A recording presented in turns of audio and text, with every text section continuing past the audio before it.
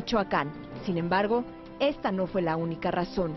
El Estado ha sido azotado desde hace más de ocho años por una guerra entre distintos cárteles, principalmente la familia michoacana y sus exdirigentes, que se enfrentaron entre sí y conformaron otro cártel, los Caballeros Templarios. Actualmente, la administración del presidente Enrique Peña Nieto ha definido sus objetivos a seguir contra la violencia y los grupos criminales. Para ello, lanzó su primer operativo con la nueva política de seguridad, enfocado en la prevención del delito, con programas sociales y no solo con las Fuerzas Armadas. Para ello, eligió precisamente a Michoacán, donde hace unos días se instaló la mesa de coordinación de la Policía Federal con el gobierno estatal. La entidad será el ámbito de prueba de la administración y de fuerzas como la Policía Federal, que están entrenando nuevos mandos y métodos operativos con Manuel Mondragón, encargado de despacho de la Secretaría de Seguridad Pública Federal, y Enrique Galindo, comisionado de la Policía Federal.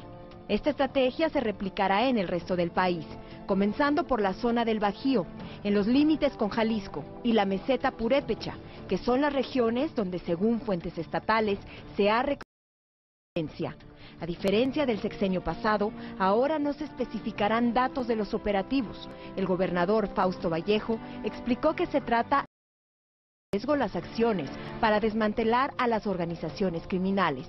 Sin embargo, el desafío no es menor al que en su momento fuera para Felipe Calderón.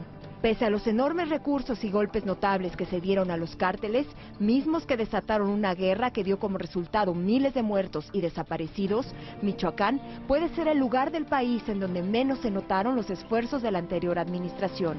El crimen organizado hizo presencia profunda en el gobierno de Leonel Godoy Rangel, un mandatario que por el contrario abandonó la lucha contra la delincuencia.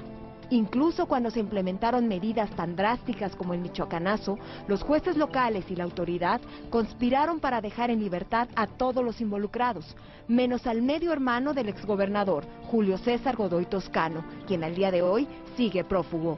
Ahora, su sucesor, el priista Fausto Vallejo, anunció que será investigado por las enormes irregularidades en sus cuentas públicas y es que en la cuenta pública 2011, entregada por la Auditoría Superior de la Federación a la Cámara de Diputados, Michoacán figura como el estado donde hay mayores irregularidades del país. A nivel nacional, uno de cada 10 pesos revisados tiene problemas.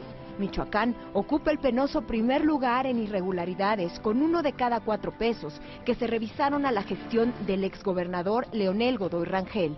A un año de haber asumido el cargo, Fausto Vallejo, actual gobernador, reconoció que los principales desafíos a vencer son el problema de los recursos económicos, como consecuencia de la deuda del Estado, y la cuestión de la inseguridad. Probablemente Michoacán, junto con buena parte de Guerrero y la comarca lagunera, sea la región del país donde menos control existe contra los grupos delincuenciales.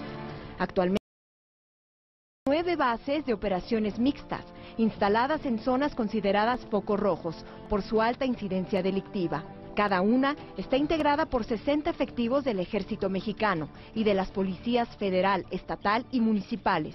Desde inicio de la administración, los focos rojos que se han recrudecido han sido la zona del Bajío, en los límites con Jalisco, por la pugna entre los grupos criminales jaliscienses y michoacanos. El segundo foco rojo es la meseta purépecha, donde el crimen organizado ha amedrentado a la población con el cobro de cuotas, tala clandestina y secuestros en perjuicio de indígenas, acciones que han llevado a las comunidades a formar grupos de autodefensa, que a su vez supone otro foco rojo. Pocas cosas han cambiado en Michoacán, pero ese es el escenario que ha decidido confrontar la nueva administración y que deberá superar para demostrar que sus políticas de seguridad funcionarán mejores que las de sus antecesores. Es cuestión de política, dicen, no de cambio de estrategia.